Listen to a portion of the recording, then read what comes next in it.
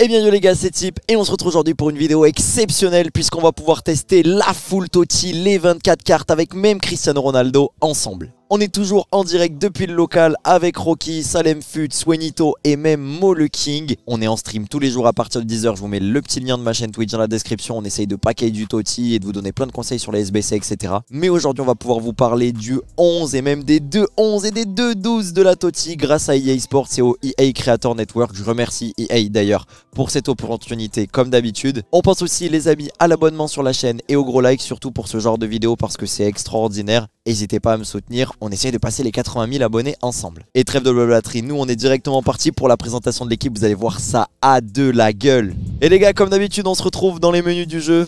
Et là, bah bah bah bah bah bah bah, je vous présente l'équipe, c'est une dinguerie les mecs.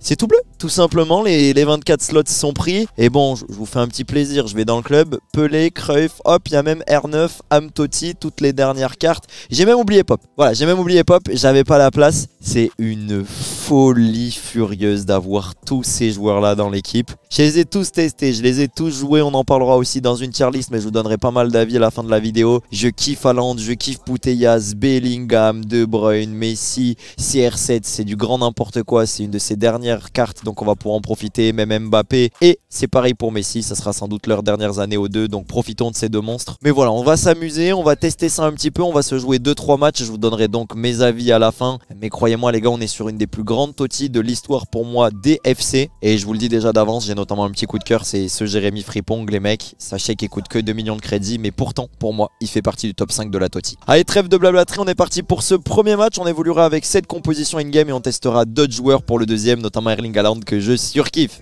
Allez les gars, on est parti pour le premier match avec ce 11.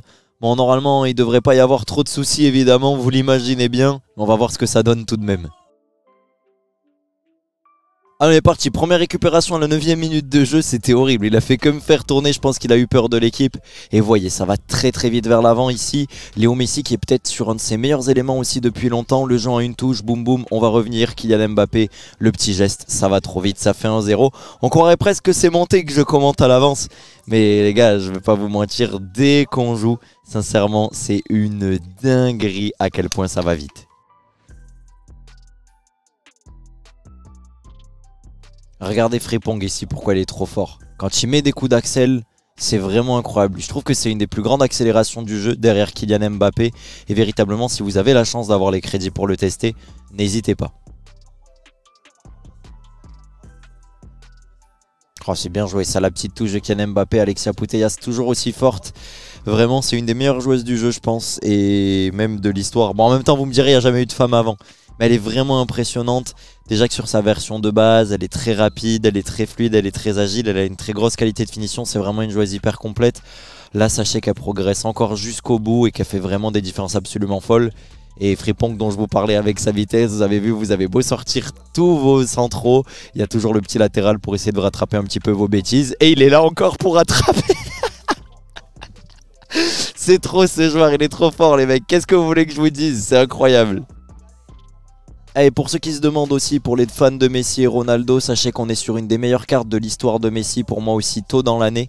C'est-à-dire que toujours les cartes Totti de Messi, il y avait peut-être parfois un petit manque de fluidité, un manque d'étoiles gestes techniques. Cette année, on lui a vraiment fait son jubilé du côté d'IA, on le sent avec les 5 étoiles qui lui permettent de faire des virgules. Je vous jure que j'arrive pas à m'y habituer et des fois j'ai du mal justement à ce qu'il est avec lui. au niveau de la fluidité, des gauches-droites, de la qualité de passe, de la qualité de tir, etc. et du choix des playstyles, notamment le R1, c'est véritablement un des meilleurs joueurs du jeu. Il est juste sensationnel et extraordinaire. Au niveau de Cristiano Ronaldo aussi, je vais vous le montrer un petit peu. Vous allez voir, je vais essayer euh, de vous faire de belles actions avec lui euh, en seconde mi-temps.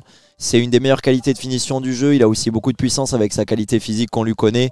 Bref, c'est du très grand Ronaldo. On n'est pas sur la meilleure carte de son histoire tout de même. Mais je pense qu'on est véritablement sur un top 3 peut-être parce qu'il est véritablement très très fort. Voilà, regardez ici la vitesse, le power shot derrière, c'est trop fluide, je sais même pas si vous l'avez vu tellement c'est parti vite.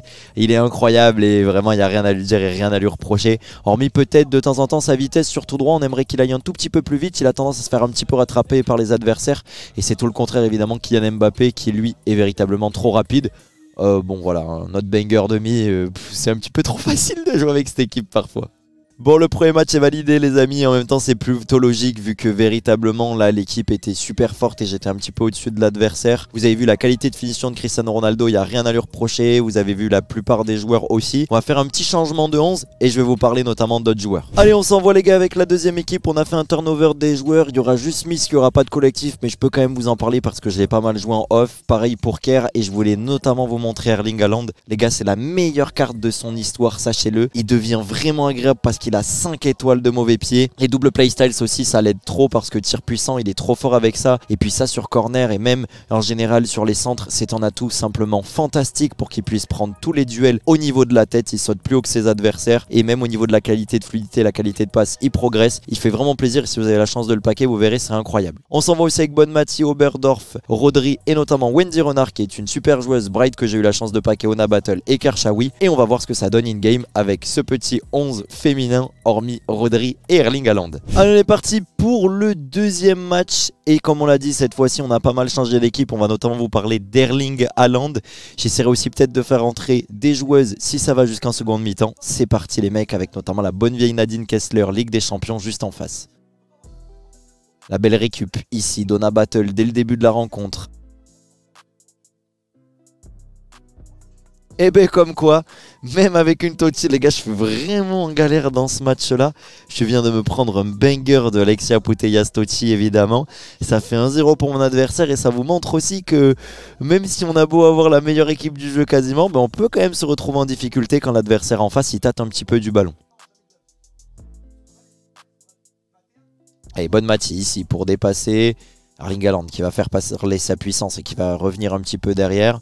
On va essayer de jouer en passe ici. Ça, c'est le gros, gros, gros avantage d'avoir une équipe Totti. C'est d'avoir vraiment beaucoup de qualité de passe, notamment pour jouer une touche. Alors, à faire parler l'explosivité de Kershawi, elle me fait vachement penser à Bacha, les amis, mais avec un petit peu plus de défense, notamment grâce au playstyle Straton Laveur qu'elle a. On va jouer ici un peu avec Rodri derrière, Wendy Renard, le petit jeu ici. On récupère la balle. c'est vraiment pas facile avec Aitana qui va essayer de déborder, qui va faire parler sa vitesse. Hop, on va mettre un petit coup de R1 avec son playstyles plus. On va revenir là. L'adversaire décide de ne pas sélectionner ses joueurs. Le joueur une touche ici. Smith, on revient. Oh, le poteau, on n'est vraiment pas chanceux là-dessus. Mais vous avez vu toute la qualité des joueurs et des joueuses. On perd 1-0 à la mi-temps, comme quoi on n'est pas intouchable et je suis beaucoup plus en difficulté. On va essayer d'y remédier en deuxième parce que ça serait un petit peu embêtant quand même de perdre avec la full Toti. Allez, bien joué Wendy Renard ici. La bonne intervention. Les gars, Wendy Renard, sachez qu'en tout cas sur cette carte Totti, elle nous fait vraiment penser à Virgil van Dijk, que j'en discutais notamment avec Rocky. Mais imaginez VVD avec une paire de seins, bah, ça donne cette joueuse. Et c'est plutôt rigolo en vrai. Elle est vraiment super forte physiquement dans son placement, etc. Je l'adore. Et ici, Sam Kerr aussi qui fait parler son bon playstyles. J'ai fait la passe un peu trop tôt. Je pensais qu'Aland allait se proposer un peu plus facilement. C'est bien joué. Mais voilà, c'est vrai que le playstyles rapide sur Sam Kerr, on va le réutiliser ici. Il fait de grosses, grosses différences. Et il me permet notamment de gratter un penalty. Elle est très puissante quand vous appuyez sur R2 au niveau du premier et du deuxième pas. C'est l'objectif du playstyles. Et ça permet véritablement de marquer de très beaux buts. J'ai peur de le rater. Il a beaucoup tourné la tête. Ah là là le gardien a beau plonger du bon côté, ça fait but. Mais malheureusement, la communauté, les gars, j'ai bien peur que ça rage quitte à 1-1. Et voilà, ça, ça ne changera pas décidément, même avec la full Totti. Après, je peux le comprendre tellement l'équipe est exceptionnelle. On va jouer un dernier match, les amis, notamment avec euh, Hansen titulaire, pour avoir vraiment un avis sur tous les joueurs et vous les avoir tous un petit peu testés devant vous avant de vous faire un bon résumé. Et on est reparti donc avec la petite Hansen, notamment en attaquant de droite, et toujours Erling Haaland que j'ai envie un petit peu plus de vous montrer. Allez, on est parti pour le troisième et dernier match. Et encore une fois, on voit un adversaire qui a fait pas mal de SBC, une petite amélioration aussi. Et Jerzinho. On va voir cette fois-ci ce que donne Graham Hansen et on va aussi essayer de pousser un petit peu Erling Haaland dans ses retranchements parce que c'est un joueur que j'adore et j'ai pas pu vraiment bien vous le montrer sur le deuxième match. Allez, la récup de Kershawi, on va exploser à nouveau avec Mbappé. Mbappé, l'astuce pour avoir la fusée, les gars, c'est de lâcher le R2 et de le repousser à chaque fois. Voilà, pour avoir le petit playstyle fusée, c'est comme ça. Parce que si vous le laissez enclencher le R2, ça se mettra pas tout le temps. La passe était incroyable de la part d'Erling Haaland. C'est dommage que ça paye pas. On va essayer ici de la redonner. Franchement, on méritait mieux et véritablement d'aller marquer un petit but ici. C'est dur. En plus, je sors derrière Wendy Renard. Ça fait 1-0 pour l'adversaire. Franchement, le jeu, il est très très très punitif. Allez, on était mené. Le but ici encore de Oberdorf sur les avant-postes. Je comprends pas que ce soit pas Hansen qui soit positionné à ce poste-là. On va essayer de revenir, mais franchement les gars, je suis très surpris parce que je joue des super adversaires alors que je suis en match amical. Et pareil, genre euh, je sens qu'avec cette équipe, mais ça tryhard énormément face à moi. Il y, a un peu euh, ce petit truc d'ego où les gens ont envie de gagner vu que c'est une équipe de fous et je pense de, de prouver quelque chose, d'envoyer des screens, etc. etc.